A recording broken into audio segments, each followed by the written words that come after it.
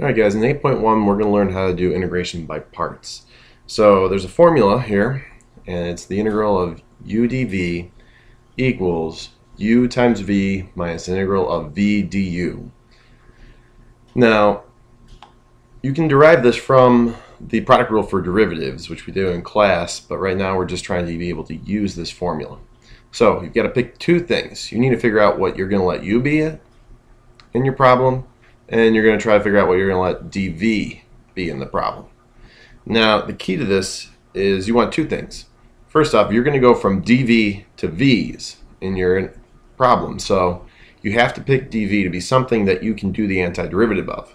So if I want to let dv be ln of x, that's a problem because ln of x, the antiderivative of ln of x, there is an antiderivative, but it's nowhere near as easy as doing the antiderivative of x squared. So sometimes you can do dv, but you want to pick dv to be something that you can do. At the same time, you want to pick u, Usually, you want to pick u to be something that goes away. So in our second problem, u is going to be the x, because x is going to go away pretty easily. So there's a kind of a balance between these things. So we're going to let u be the ln of x. And then dv is going to be x squared. And then technically dx. And we're going to do our u's just like normal. So du is 1 over x dx. And then v is going to be the antiderivative. So 1 third x cubed. And we don't need any plus c's or anything. So now we're going to plug it into our formula. So u, which is ln of x, v times our 1 third x cubed minus the integral of v, our 1 third x cubed du, 1 over x dx. Now sometimes you'll be able to do the antiderivative directly, and sometimes you'll have to do another integration by parts or use substitution.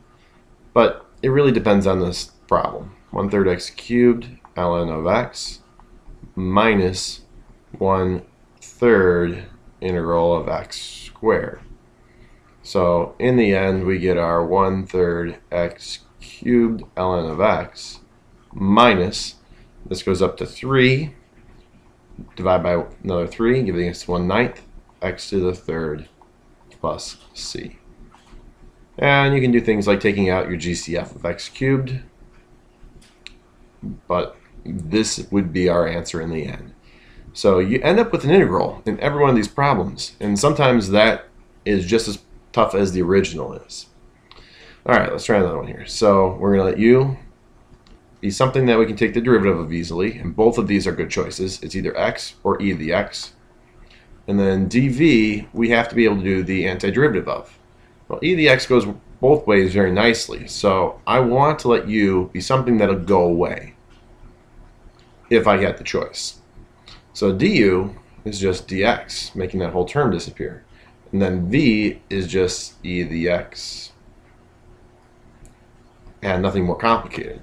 So now we're going to have uv, so x e to the x, minus the integral of v e to the x du dx. And then the integral of e to the x is another e to the x.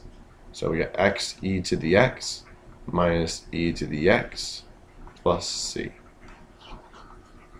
can always take your derivative if you'd like to, to double check your answers.